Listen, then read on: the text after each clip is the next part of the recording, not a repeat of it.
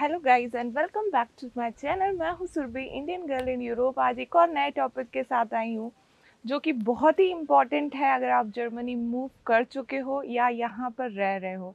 तो video and तक देखना क्योंकि इधर पर बहुत ही छोटी मोटी सी बातें हैं, पर बहुत ज़रूरी है यहाँ पर। तो जो वीडियो का टॉपिक है, वो है डूज़ इन जर्मनी हो सकता है कुछ जो डूज़ हैं, वो आपको ऐसा लगे, अरे, ये तो बहुत ही नॉर्मल डूज़ हैं। लेकिन वो तभी पता चलता है जब आप यहाँ पर रह रहे होते हो। इंडिया में इतने इंपॉर्टेंट नहीं होते, पर यहाँ पर बहुत इंपॉर्टेंट होते हैं। वीडियो का मकसद ये है कि आपकी लाइफ जब आप इनिशियली यहाँ पर आओ तो इजी हो जाए। तो जो भी पॉइंट्स हैं, वो मैंने बहुत सोच समझ के और नोट डाउन करके और आज मैं आप लोगों से शेयर कर रही हूँ। तो वीडियो स्टार्ट करते हैं। सबसे पहला पॉइंट है, आप अपने जो भी ओरिजिनल डॉक्यूमेंट्स हैं वो अपने साथ कैरी करो। कैरी करने का मतलब ये है कि अगर आप इंडिया से यहाँ आ रहे हो तो वो चाहे आपके मैरिज सर्टिफिकेट हो, आपके एजुकेशन सर्टिफिकेट्स हों या और कोई भी इंपॉर्टेंट सर्टिफिकेट्स हैं, वो अपने साथ कैरी करना चाहिए यहाँ पर, क्योंकि यहाँ पर कभी भी ज़रूरत पड़ती है। इसी का एक एक्सटेंडेड चीज़ है, जैसे आप नॉर्मली सिटी में घूम रहे हो या यहाँ पर एक जगह से दूसरी जगह जा रहे हो, जैसे हम जर्मनी से स्विट्ज़रलैंड जाते हैं तो दो डॉक्यूमेंट्स या दो जो कार्ड्स हैं वो हमेशा आपको अपने साथ कैरी करने चाहिए। सबसे पहला यहाँ का जो रेसिडेंट कार्ड है, वो बहुत इंपॉर्टेंट है, वो हमेशा आपके साथ आप रहना चाहिए। और दूसरी चीज़ जो होती है, वो हेल्थ इंश्योरेंस कार्ड जो होता है वो। तो ये दोनों चीज़ें आपको हमेशा अपने साथ रखनी चाहिए बिकॉज़ यू नेवर नो कभी भी हो सकता है आपसे पूछ लिया जाए या हो सकता है कभी हेल्थ इमरजेंसीज आ जाएँ तो इन दोनों को आप हमेशा अपने साथ कैरी करके रखो। दूसरा पॉइंट है, वो है, बहुत ही छोटी सी बात है, पर बहुत इंपॉर्टेंट है यहाँ पर। वो है अगर आप हाउस हंट करते हैं ऑफकोर्स आप यहाँ आओगे, चाहे आप स्टूडेंट चाहे आप जॉब करने आ रहे हो, आप सबसे पहले अपना फ्लैट ढूंढोगे, अपना अपार्टमेंट ढूंढोगे। वो अपार्टमेंट ढूँढने के लिए आपको अगर अपनी प्रोसेस ईज ईजी करनी है तो सबसे इंपॉर्टेंट चीज़ होती है कि आप जितनी भी वेबसाइट्स हैं, मैंने पहले भी बताया है जहाँ से आप लोग घर ढूंढ सकते हो, वहाँ पर आपको प्रीमियम मेंबरशिप लेनी चाहिए। एटलीस्ट एक वेबसाइट जो जहाँ, यहाँ पर जो लोकप्रिय है सबसे ज़्यादा, उसमें अपनी प्रीमियम मेंबरशिप लेनी चाहिए। उससे क्या होगा, आपको ईज़िली जो है वो घर या फ्लैट जो है वो मिल जाएगा। ऐसी कोई जगह जो बड़ी सिटीज़ हैं, जैसे म्यूनिक हो गया बर्लिन हो गया प्लस चुटगार्ड हो गया, इसमें से तो बिल्कुल बहुत ज़रूरी है एडवाइजेबल है। फिर जो छोटी सिटीज़ हैं या छोटे टाउन्स हैं, उसमें मैं आपको रिकमेंड करूँगी सजेस्ट करूँगी लोकल एजेंसीज़ होती हैं जो हाउस सर्च करने में हेल्प करती हैं तो उनके थ्रू भी आप ढूंढ सकते हो। पर बिगर सिटीज़ जितनी भी है मतलब मैंने सिर्फ़ तीन नाम लिए हैं, अगर वहाँ घर ढूंढ रहे हो और जल्दी घर चाहिए अच्छा घर चाहिए तो उनकी जो प्रीमियम मेंबरशिप है वो ज़रूर लेना। आपका काम जो है वो बहुत ही आसान हो जाएगा यहाँ पर। तीसरा पॉइंट बहुत इंपॉर्टेंट है और ये इसलिए भी इंपॉर्टेंट है क्योंकि आप एक ऐसी कंट्री में आ रहे हो जहाँ की जो भाषा है वो डिफरेंट है। ये वो पॉइंट है जो मैं हमेशा सब लोगों से रिकमेंड करती हूँ। वो ये है कि जैसे ही आप यहाँ पर आ जाओ तो आपको अपना जर्मन जो है वो डे वन से स्टार्ट करना चाहिए। मैं यहाँ आने के बाद इसलिए बोल रही हूँ क्योंकि वो तो एकदम एक्सट्रीम केस हो ही गया। लेकिन अगर आप पहले से ही प्रिपेयर कर रहे हो और आप इंडिया में जो है अपनी जर्मन लैंग्वेज कर सकते हो एटलीस्ट बेसिक लेवल की तो वो आपको कर लेना चाहिए। क्योंकि कहीं ना कहीं मतलब after one year after two year आपको जर्मन सीखनी ही पड़ेगी।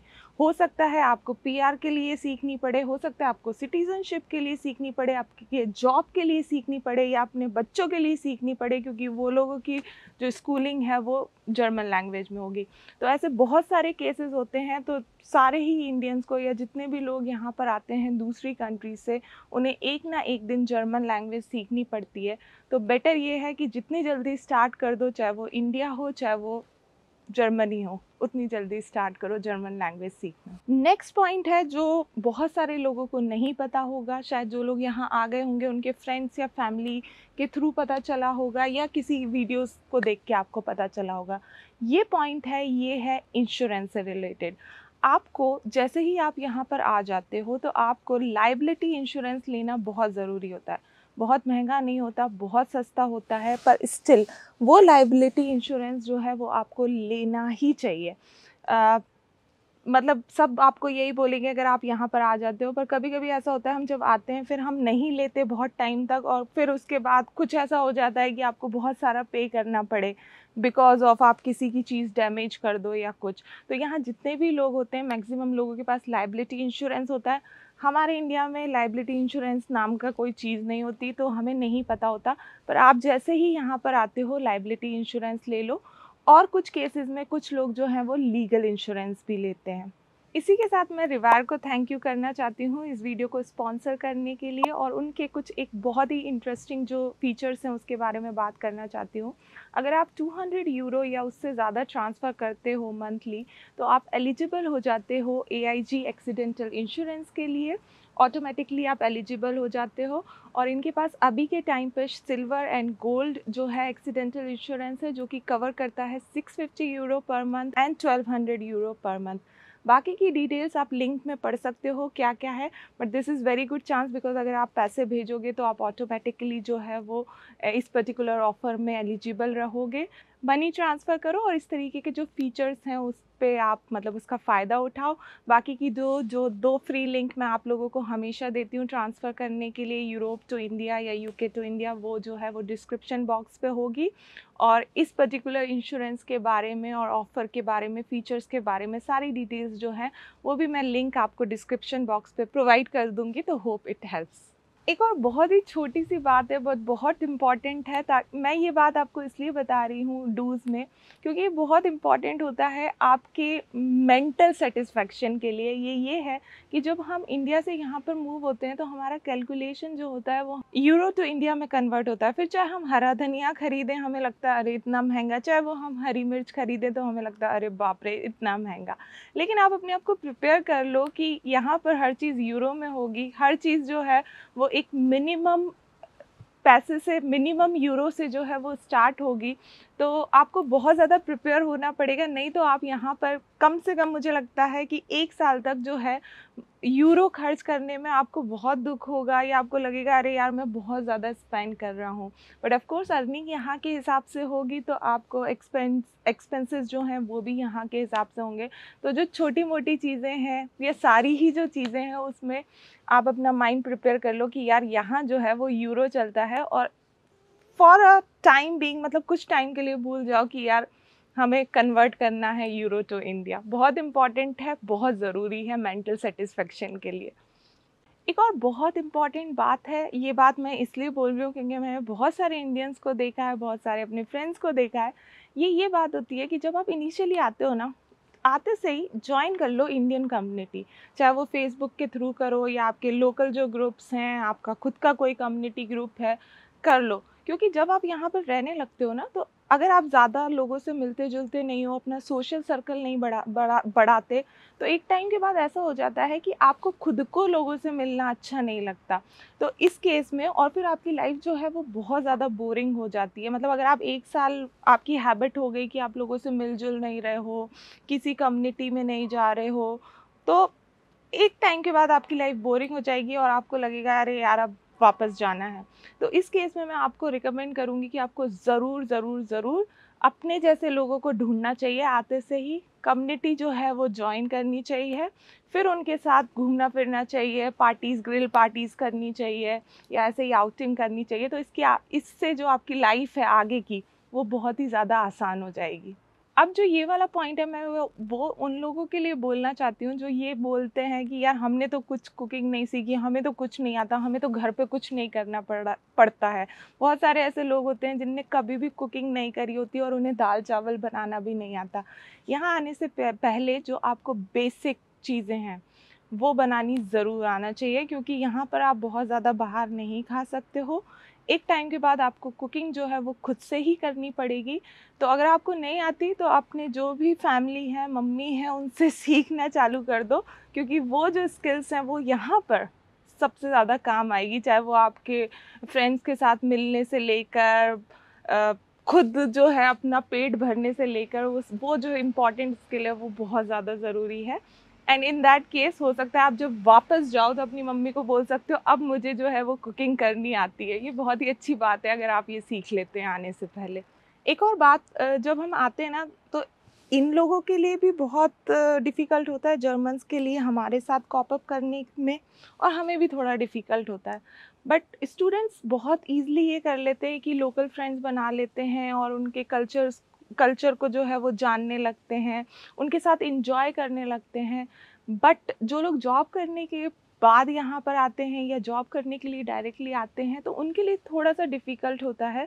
तो इंपॉर्टेंट होता है कि आप जो लोकल फ्रेंड्स हैं उन्हें बनाओ, ताकि आप जो लोकल कल्चर है उसके बारे में भी जान सको उसको इन्जॉय कर सको, सबसे इंपॉर्टेंट ये है। तो ये भी बहुत ही इंपॉर्टेंट डूज है जो आपको यहाँ पर आके करना चाहिए।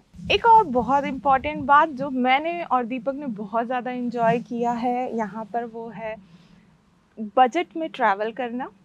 बहुत ही मज़ा आता है बजट में ट्रैवल करना, मैं इसलिए आपको बता रही हूँ क्योंकि वो जो बस होती है, जैसे फ्लिक्स बस हुई, उसमें ट्रैवल करने में बहुत मज़ा आता है, यूरोप में इधर से उधर आप जा रहे हो कहीं पर या विद इन जर्मनी सबसे ज़्यादा मज़ा आता है जब यहाँ के आप हॉस्टल में रुकते हो और हॉस्टल में आपको बहुत सारे आप जैसे ट्रैवलर मिलते हैं और आपको उनसे बहुत कुछ सीखने मिलता है प्लस आप उनके साथ पार्टी कर सकते हो और वहाँ पर एक ग्रुप जो है वो बन जाता है खुद से और उनके साथ आप बहुत मज़े करते हो, अकेले रहने से बेटर है कि उनके साथ मज़े करो। तो इनिशियली क्योंकि हो सकता है एक टाइम के बाद जब आप सेटल हो जाओ तो आप ऐसा नहीं करोगे, जो अब हम नहीं करते हैं। पर जब हम यहाँ आए आए थे तो हमने ऐसे ट्रिप्स बहुत करे थे और जर्मनी में ऐसे बहुत सारी वेबसाइट हैं जो one day trip two day trip students के लिए या हम जैसे लोगों के लिए कराती है, उस तरीके के ग्रुप्स में ज्वाइन करो। बहुत मज़ा आएगा फॉर श्योर एक और बात है, जर्मनी में जो है वो हाइकिंग ट्रैकिंग चलना, फिरना मतलब विद इन यूरोप में बहुत बहुत ही कॉमन है हुँ? हम्म। तो अगर आपको हाइकिंग का शौक है, आपको लगता है कि आपको हाइकिंग कर, करोगे आप यहाँ पर आके तो अगर आपके पास कोई गैजेट्स हैं ऑलरेडी हाइकिंग के तो आपको अपने साथ कैरी करना चाहिए यहाँ पर और प्लस जो अप्रोप्रिएट क्लोथ्स या शूज़ होते हैं, वो करना चाहिए, क्योंकि यहाँ पर बहुत ही नॉर्मल होता है, जो जर्मन अगर आप किसी के साथ फ्रेंड्स बनते हो या आपका लोकल ग्रुप होता है तो बहुत बार ऐसा होगा कि वो सैटरडे संडे जो प्लानिंग होती है उनकी, वो या तो हाइकिंग की होगी या साइकिलिंग वाला ग्रुप होगा कि चलो यार साइकिलिंग ट्रिप साइकिल ट्रिप पे चलते हैं या कुछ और होगा। तो इस तरीके की चीज़ें के लिए मैं आपको बोलूँगी, अगर आपके पास ऑलरेडी है तो आप कर लो अदरवाइज़ यहाँ पर डिकेथलॉन और भी बहुत सारे स्पोर्ट्स ब्रांड होते हैं, उससे ख़रीद लो। नेक्स्ट पॉइंट है अबाउट द विंटर्स विंटर्स में आपको पता है बहुत ही डिप्रेसिंग हो जाता है। यहाँ पर एक तो बहुत लंबी होती है विंटर्स और बहुत डिप्रेसिंग होती है। उसको इन्जॉय करने के लिए सबसे अच्छा तरीका है कि आपको यहाँ पर आते से ही स्कीइंग सीख लेनी चाहिए। तो स्कीइंग जो है वो लोग बहुत इन्जॉय करते हैं यहाँ पर। मैंने भी अभी तक नहीं सीखी है बट हमारा जो नेक्स्ट जो है टारगेट वो यही है स्कीइंग सीखने का। और वो पर्टिकुलर स्कीइंग सीखने में आपको बहुत एक तो सीख जाओगे तो बहुत मज़ा आएगा क्योंकि आप स्कीइंग कर सकते हो और जो विंटर्स हैं वो आपको ईजिली निकल जाएगी तो ये भी ज़रूरी है।